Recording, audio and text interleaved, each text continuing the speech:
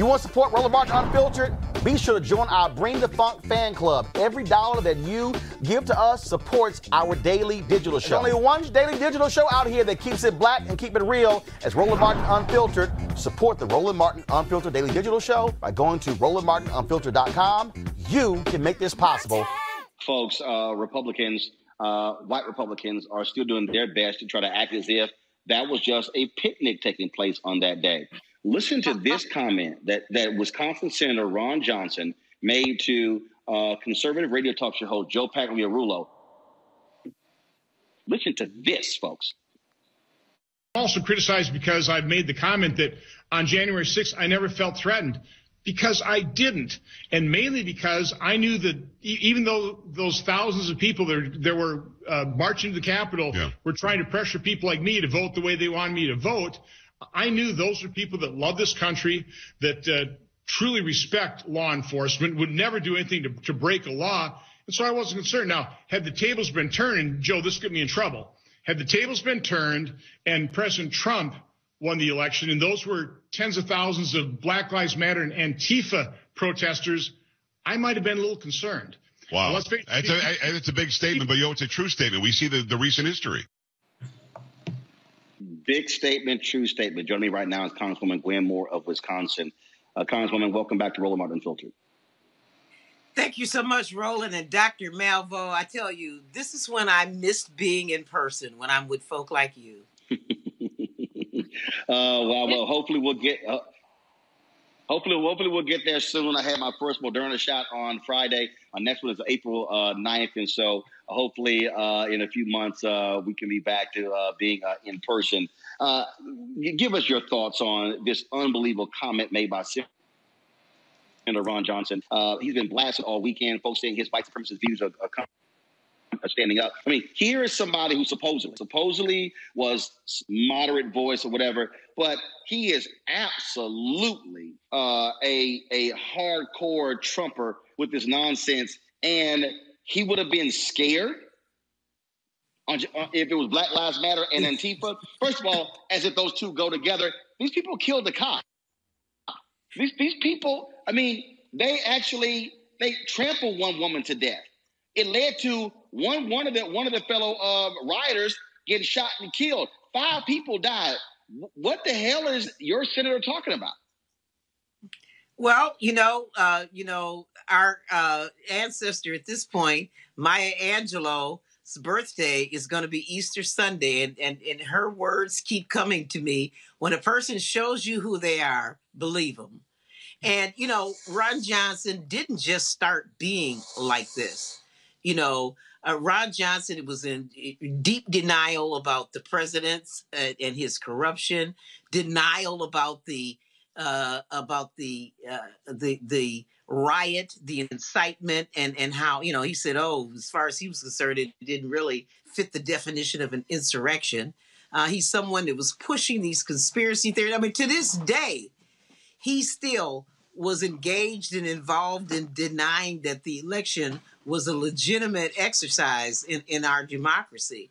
And so, um, you know, maybe he's not planning to run again, or maybe he's trying to take advantage of the fact that Joe Biden uh, just barely won the state of Wisconsin, is trying to inherit that base uh, of hardcore uh, uh white supremacists. Uh, because uh, his statement certainly has galvanized uh, the emotions. I mean, these cultural wars, this is their go to position, Roland.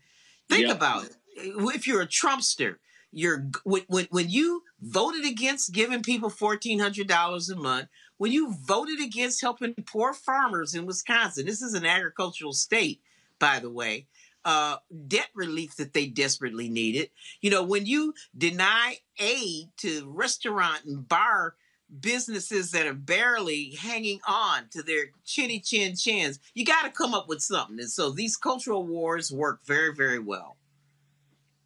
Well, you talk about those cultural wars working very, very well, but but but um, what you have here again is this trying to position that Black Lives Matter was somehow oh my God, these people are violent and crazy. And you're sitting going, and maybe Senator Johnson, you're saying that because you're a white Republican, okay, who sides with them. But these people were hell bent to kill. That was their strategy. They were hell bent to kill. And the FBI is arresting numerous folks constantly for what they were trying to do. I mean, this is like what what world is this guy living in? He wasn't afraid, and they had Kevin McCarthy out there. I mean, this isn't the first time that a minority leader was murdered right there in that storied building, and they were pounding on Kevin McCarthy's door trying to get in while he called the president, and that was when he made the snarky remark, "Well, Kevin, you know, apparently you're not as worried uh, about the election as they are." You know, he was he was tracking down his vice president next in line for the succession with a noose. And you know, the, the, the noose just brings it strikes terror uh, uh, uh, in my mind as an African American. They had a noose chanting, "Hang Mike Pence." They were looking for Nancy Pelosi, uh, and so uh, uh, he was not frightened by his kindred spirits. Um, but he would have been intimidated by, I mean, there were 10,000 or more protests. And like I said, the, these protests garnered the support of, of people from every race, every age group, every state. It became a global initiative after George Floyd and Breonna Taylor. I mean, all these people were who were storming the Capitol. They were not Antifa. They were not Black uh, Lives Matter. They were stone cold white supremacists, folk walking around with Nazi uh, uh, uh, uh, uh apparel, a Confederate flag, and he was not afraid among his brethren. What um, what are black folks there in Wisconsin? How are they responding uh, to Senator Ron Johnson? He's up for reelection next year. Uh, I've made it perfectly clear we're going to spend some time there uh, because folks like him to be thrown smooth the hell out of office. It, it, thank you so much, Roland. Thank you, and I'm gonna hold you to that to come on to the Milky Way because we're going to need it. I mean, this is a, a swing state. Uh, we have some of the worst conditions for African Americans in the country here. Those those data get buried underneath the fact that you know we're not Mississippi or Alabama or somewhere with large numbers of African Americans, but per capita we have the most incarcerated African Americans, most uh, redlined. Uh, least a home ownership, worst place in the country for black children. So many indicators, uh, so much of the misery index. And, and the last thing we need is a senator uh, who uh, wants to cast fear and apprehension and doubt into the minds of Americans about the worthiness of African Americans. And so, come on, we have a very uh, bright group of, of Democrats forming a Democratic primary. And I wouldn't be surprised if Ron Johnson decides to run, that there wouldn't be somebody, uh, you know, uh, uh, among Republicans who would challenge him because he is out to lunch.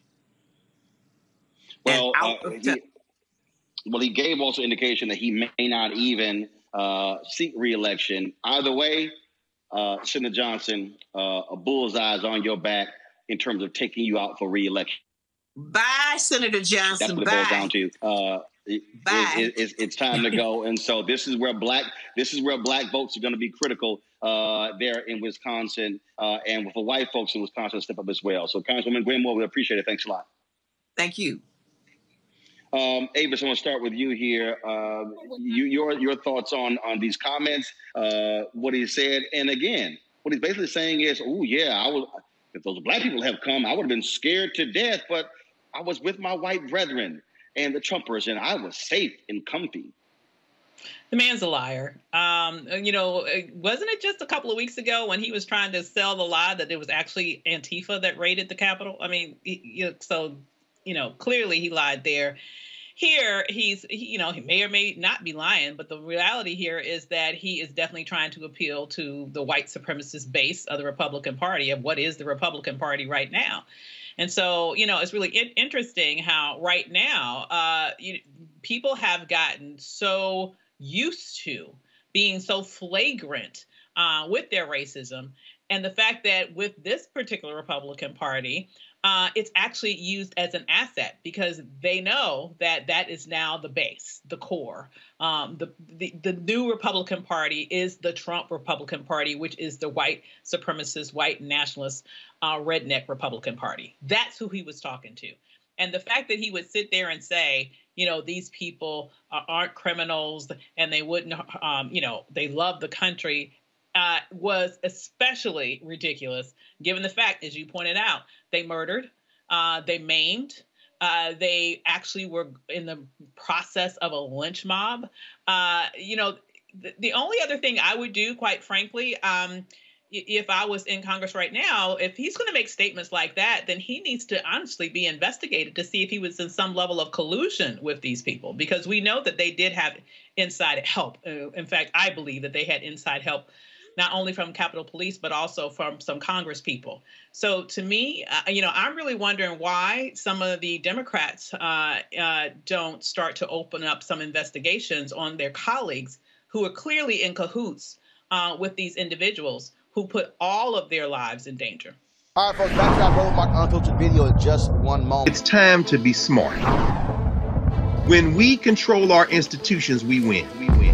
This is the most important news show on television of any racial background. Y'all put two, three, four, five, 10, 15, 20, 30 dollars on this and keep this going. What you've done, Roland, since this crisis came out in full bloom. Anybody watching this, tell your friends. Go back and look at the last two weeks, especially of Roland Martin Unfiltered. I mean, hell, go back and look at the last two days. You've had sitting United States senators today, Klobuchar and Harris. Whatever you have that you have, you can bring to Roland Martin Unfiltered to support it. Please do because this information may literally save your life. Watch Roland Martin Unfiltered daily at 6 p.m. Eastern on YouTube, Facebook, or Periscope, or go to RolandMartinUnfiltered.com. Support the Roland Martin Unfiltered Daily Digital Show by going to RolandMartinUnfiltered.com. Our goal is to get 20,000 of our fans contributing 50 bucks each for the whole year. You can make this possible. RolandMartinUnfiltered.com.